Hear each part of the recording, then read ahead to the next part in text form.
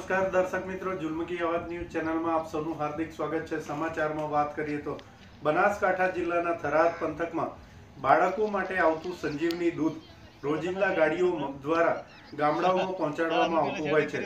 ત્યારે ઘણી વખત રસ્તાઓમાં અને બાવળિયાઓની જાળીમાં ફેંકેલા પાઉચ જોવા મળતા હોય છે.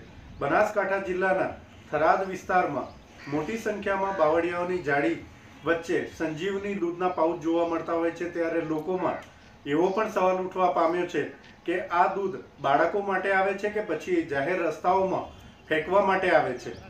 આવા સ્વાર્થી કોન્ટ્રાક્ટરો સામે તંત્ર દ્વારા ક્યારે પગલાં ભરવામાં આવશે? આજ દિન સુધી રસ્તાઓમાં ફેંકાયેલા દૂધના કોન્ટ્રાક્ટરો પાસેથી પૈસા વસૂલ કરે તેવી લોકોની માંગ ઉઠવા પામી છે. ગુજરાત સરકારની અંદર પ્રાથમિક શાળા અને આંગણવાડી કેન્દ્ર સરકારમાં દૂધ દૂધની થેલીઓ પકડવામાં આવે છે. પણ આ થરાદ તાલુકાની અંદર, આપણા થરાદની અંદર, આજે નિશાળની અંદર પકડીને અને બધી ગૌચરની અંદર બાવળની અંદર બધી ફેંકી દીધેલ છે.